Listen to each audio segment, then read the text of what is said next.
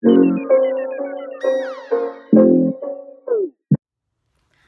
welcome back. This is Miracle Jade here, and I am doing another makeup tutorial. So this one is going to be involving a product that I have been wanting to use for a while now. Yes, and it is Fenty Stunna Lip Paint. I am hype. I love Rihanna, and I have not worn this out yet at all. So this is going to be something based completely off of this lip. It's supposed to be very bold. It's supposed to go with every what shade out there. So like every skin tone out there, this is supposed to match. It's supposed to be the universal of reds. And I do not wear red lipstick. So I am excited to see how this is going to look on me. So I hope it turns out well and I hope you guys like it. So see you at the end. So I'm using Vino Perfect Serum as a primer from Caudalie. I'm just going to rub that all over my face and neck. Also a little bit of rose water to close up those pores. I also have some new foundation from Clinique. I think it's called Everglow. I don't know. I'll put it in the description. I'm really bad at that. But I'm just going to blend that all over my face and my neck.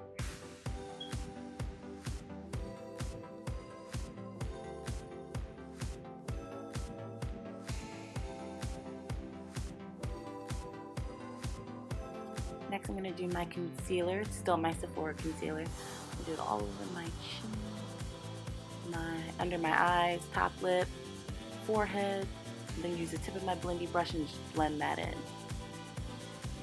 After I did this, I actually um, did my eyebrows, but uh, it took me so long to do it that I edited it out.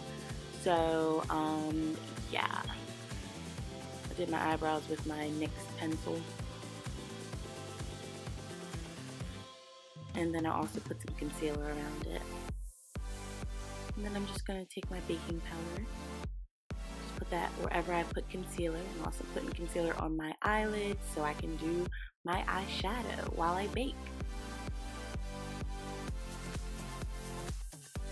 So the first color is from ColourPop, and that's my transition color. It's like this brownish color, like a lighter, a light brown, kind of reddish. So I'm just going to put that all over my lid.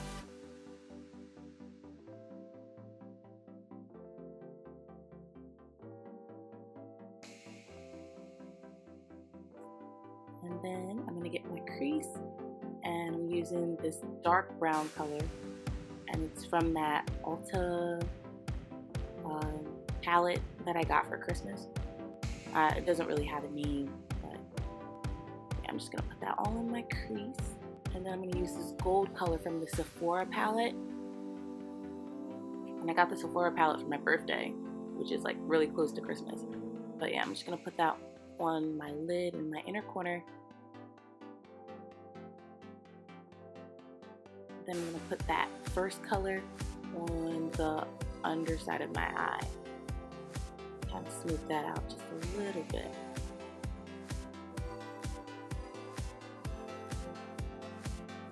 I'm gonna take my uh, wowder and I'm gonna dust off the baking powder that I used. Like I said before, um, I like wowder because it mats my face out and it doesn't make the concealer as bright. It's more my skin tone, which I like. And I'm gonna contour with my Ruby Kisses palette. That I use one shade. I don't like to go overboard with contour, so I'm doing my uh, bring out my cheekbones.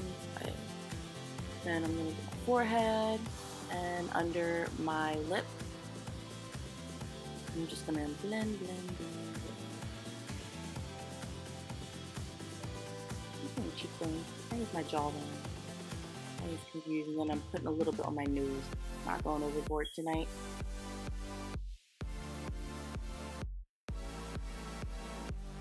Just kind of getting some of that concealer off of my uh, eyebrows. I think I put too much on. And then my cloud paint blush, of course. Just gonna dot that on my face and then take a brush and blend that in just to add some more color.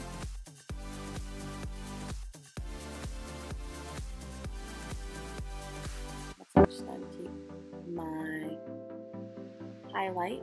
It is from ColourPop. I'm just gonna highlight my face. So I did my cheekbones, cupid's bow, my chin, my nose, bridge of my nose, and right above my brows.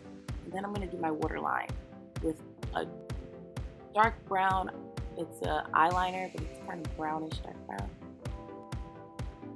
And then I'm gonna do my mascara. I don't do lashes, guys. I'm really bad. I, I, have had, I've worn it like a couple times, but I'm just, I don't know. I don't own any lashes, so I just do mascara. If I want my eyes to really pop, I just cake on mascara,